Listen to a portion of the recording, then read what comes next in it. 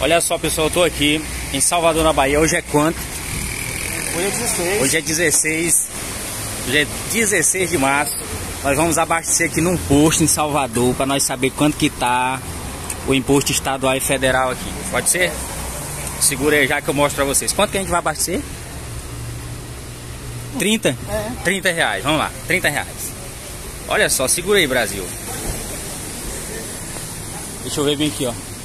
Quanto que tá a gasolina aqui em Salvador, guerreiro? É, 7,33, olha aqui, ó. 7,33. Vamos ver quanto que vai dar de imposto estadual e federal. Segura, pai.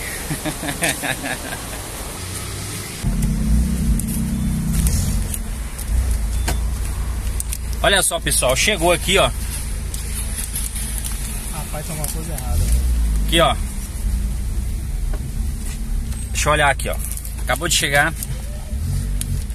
Tá sem direção, tipo. Nós abasteceu 30 conto. Ó, nós pagamos aí, ó. é, tributos aproximados a 4 é, a quatro reais e três centavos. É, 13,4% é, foi imposto federal. R$ reais, o equivalente a 30% foi o imposto estadual. Imposto municipal, 0%.